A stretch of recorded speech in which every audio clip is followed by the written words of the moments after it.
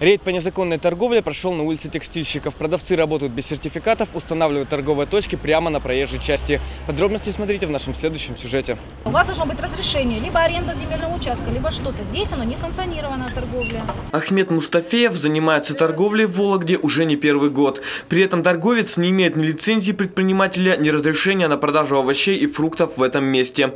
Несмотря на то, что знает закон, мужчина установил свою торговую палатку прямо на пешеходном переходе проезжей части.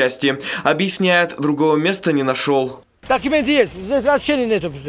Все там есть сертификат, есть качество есть, все есть.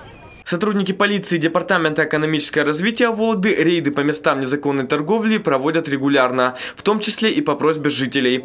Жалобами волокжане обратились в Центр по работе с населением, ведь торговцы не только нарушают закон и санитарно-гигиенические нормы, но еще устраивают свалку рядом с местом торговли.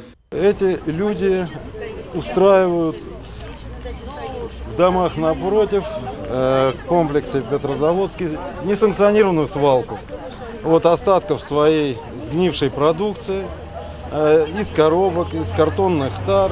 Это ведет не только к загрязнению микрорайона, но и к угрозе возникновения различных заболеваний. По словам специалистов, большинство нестационарных торговых точек работают в городе незаконно. Они не платят налоги и, самое главное, подвергают риску покупателей, несмотря на то, что мест для законной работы в Вологде достаточно. Торговых площадей по городу превышает норматив на сегодняшний день практически в 4 раза.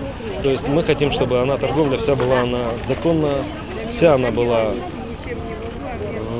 объектах стационарных, ну либо не стационарных объектах, но оборудованных. То есть э, в первую очередь это будет и безопасность населения. И самим волокжанам специалисты советуют задуматься, какие овощи и фрукты они приобретают. Большинство жителей за качественный товар и на законных основаниях. Антисанитарные условия, во-первых. Неизвестна продукция откуда. Без сертификатов торгуют.